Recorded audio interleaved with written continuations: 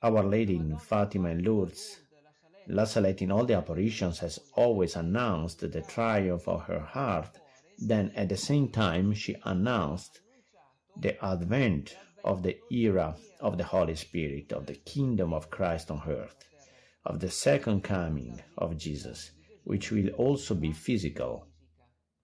And what will happen when the apostles will bring the light of Christ to the world?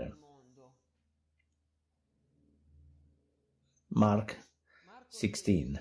Now these are the signs that will accompany those who have believed. In my name they will cast out demons. They will speak in new languages. They will take snakes with the hands, and even if they drink anything deadly, they will not have any harm. They will lay their hands on the sick, and they will get healed. Jacareí 2015 The Holy Spirit will descend on you with such a power that you will perform the same wonders of the apostles.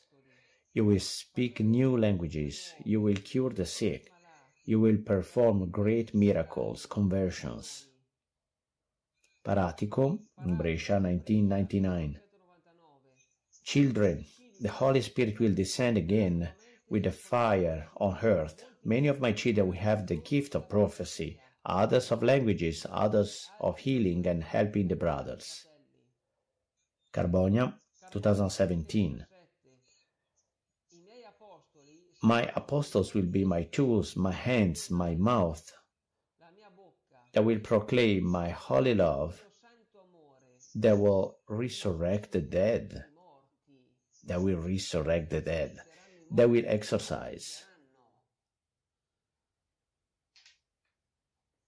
The apostles of the latest times will have the same power as the apostles of 2000 years ago. Peter has been touched by the Holy Spirit and was healing the sick, physically speaking, the blind. One day in Jaffa, a woman named Tabitha, she was giving great alms, great works. She was actually dead. Then they called Peter, he went to Jaffa, he kneeled in front of her body, began to pray, and said, Tabitha, get up. And what happens? This woman is raised, she's risen. Ab- Abbe de Robert, that is Padre Pio's uh, spiritual son, had gone to war in Algeria. One day, the Liberation Command of the National Front of Algeria enters the village where he was. They kidnap him together with, together with four or five other soldiers, put them all in front of a wall, and shot them, killed them all. Abbe de Robert gets up, or better to say, he rather detaches from his body because he sees his body on the ground.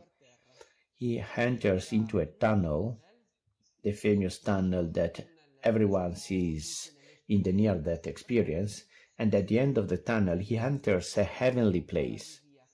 He sees many people. Some of these people he knew.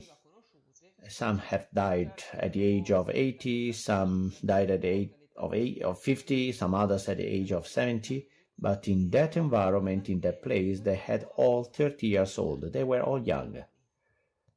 Then he sees Our Lady, he sees Jesus, he feels an indescribable feeling of peace, of joy, serenity, of eternity. And all of a sudden, he finds himself in Algeria with his nose down in the sand.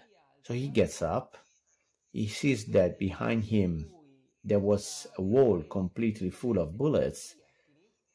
The clothes but the front side and back were full of holes just because the bullets had passed him from one side to another.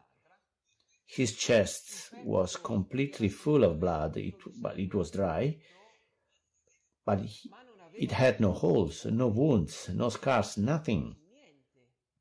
This man had the experience, we can say so, of the resurrection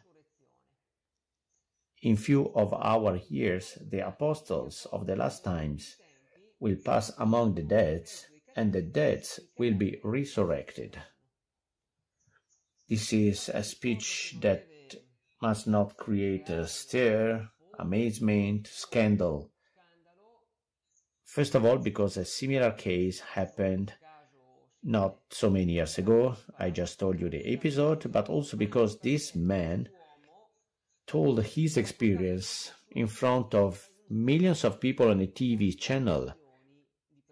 We can see this video.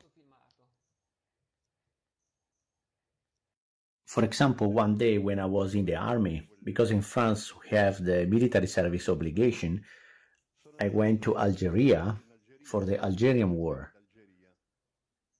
One day, one evening, a commander of the National Liberation Front of Algeria attacked our village. I was soon taken. They put me in front of a door with five other soldiers, and there we were shot. Immediately, I had the strange experience of decorporation. I saw my body next to me, lying, lying and bleeding in the midst of my military comrades they were also killed. And I began a curious access, a sort of tunnel.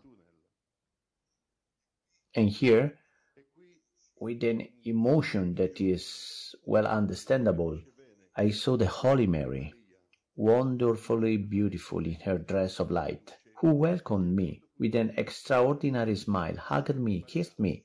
Behind her there was Jesus, the same, the same thing. Then a zone of light that I thought it was the Father, there you really feel the total satisfaction of everything I could wish for. And there I knew the perfect happiness, like a certain experience of eternity. Then suddenly, my my nose was in the sand. I found myself on the ground, completely well, swamped in the midst of my companions that they were really dead. But I realized that the door I was standing in front of, it was riddled with bullets that had gone through my body because I realized that my robe was full of holes, both in front and in back. My chest was also full of blood, but a kind of dried, dried blood a little sticky. So it was two or three hours of blood. My back was the same. I took off this robe. I went to the commander on the other side. You had no wounds. Had blood but no wounds. I looked for the holes. I did not find them. I was intact, but these bullets entered the robe, came out behind, and also to the door.